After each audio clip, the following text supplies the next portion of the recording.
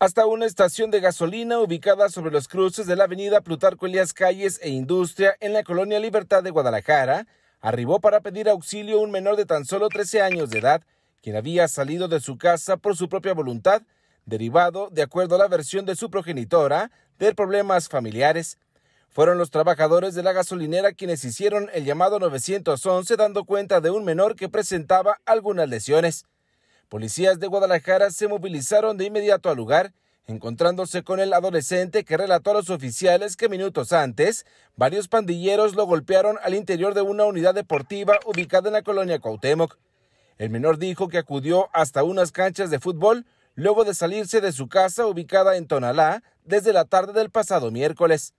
En el lugar se pidió el apoyo de paramédicos del municipio quienes atendieron de una lesión en el cráneo, así como algunos golpes en el resto de su cuerpo a este adolescente, sin que las heridas, por fortuna, requirieran el traslado hasta un puesto de socorros.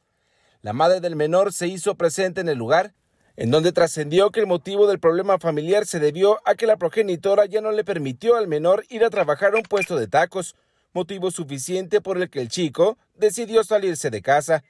Tanto el adolescente como su madre fueron derivados al área correspondiente de psicología y atención a menores de la comisaría de Guadalajara, en espera de que ambos puedan solucionar sus problemas en casa y este arranque no se vuelva a repetir con un resultado peor. Reportó para Guardia Nocturna Abraham Maciel. Guardia Nocturna.